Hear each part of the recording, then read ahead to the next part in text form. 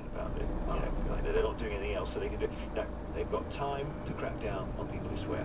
Seventy-five pounds fine, and if it's really successful, it will be continued beyond Christmas. Oh. I've got a compliance officer there. Oh. I'm not going to answer that question because I'll say something I'll regret. Also, a sheriff in Illinois. We're going to get uh, sheriff in Illinois in, on Cook County, Illinois, on the line when he's woken up, which means 1:30 our time. He is deciding he's not going to evict people from homes when the mortgage isn't paid. Now, the interesting thing here is that they have got evictions going on of tenants. So people are renting a home quite happily, pay their rent every week, and suddenly